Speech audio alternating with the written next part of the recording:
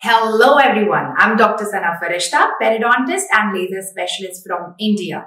And today we're going to talk about antimicrobial photodynamic therapy in periodontal pocket using 650 nanometer S1 Pioon laser. And for that, I'm going to introduce Dr. Aditi Chaudhary, periodontist and laser specialist and one of the divas in laser.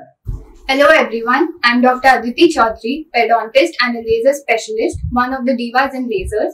And uh, today I'm going to showcase you a procedure called antimicrobial photodynamic therapy in a periodontal pocket using S1 Pioon laser 650 nanometer wavelength.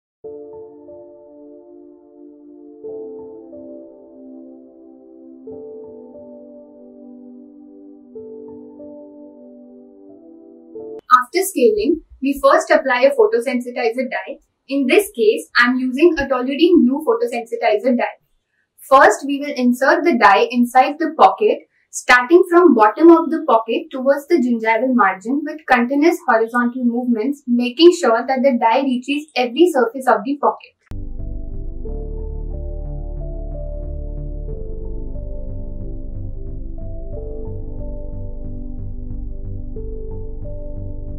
After inserting the dye, we will wait for 1 minute and then do laser irradiation using the same horizontal movements that we used while inserting the dye into the pocket.